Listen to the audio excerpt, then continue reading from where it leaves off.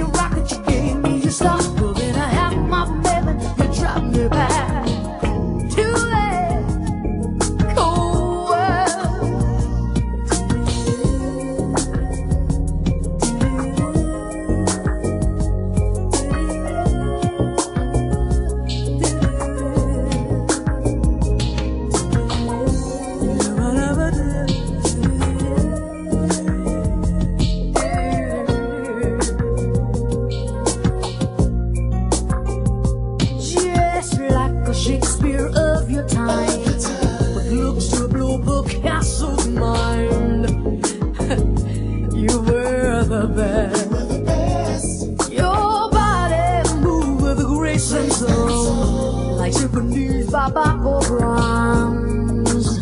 Never